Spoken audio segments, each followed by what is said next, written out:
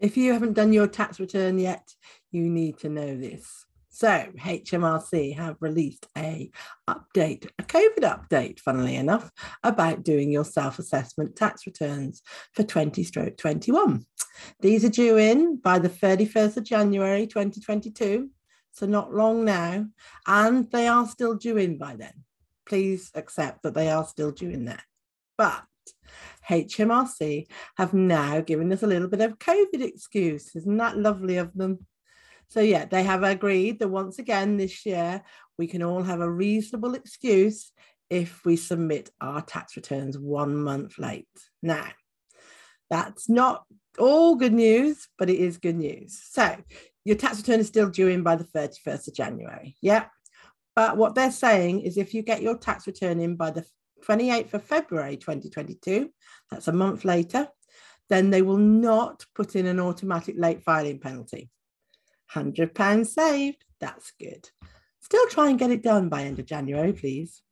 Plus, if you haven't made your payment by the 1st of April 2022 of any tax due at the end of January, then they will not charge a late payment filing penalty either.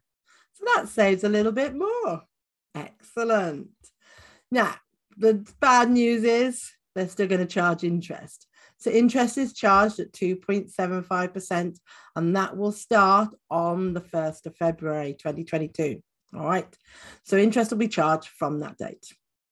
Plus, you need to know that the tax inquiry window will be increased. The tax inquiry window normally is 12 months after the date you filed your tax return. So if you file by the end of January 22, it's uh, the tax inquiry window closes January 2023. Now, the minute you're a little late putting your tax return in, even a day late, that adds three months to the inquiry window. So that would be April 2023. All right. So just be warned of that.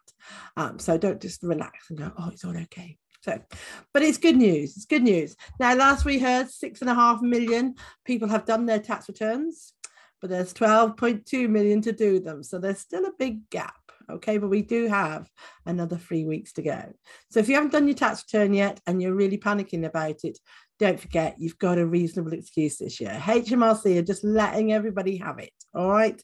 Um, but you will be charged interest and you will have an increased inquiry window. Time to shine.